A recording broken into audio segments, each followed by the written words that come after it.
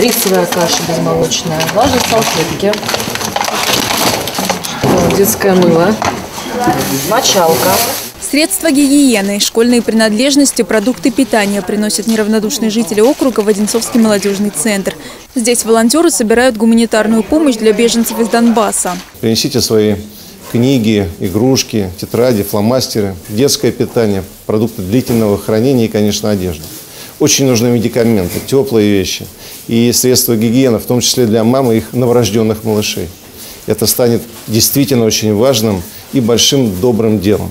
Глава муниципалитета и его заместители приняли участие в акции «Доброе дело», чтобы помочь обеспечить детей и родителей из Донецкой и Луганской народных республик всем необходимым. Гуманитарный груз доставили в молодежный центр и дружно разгрузили.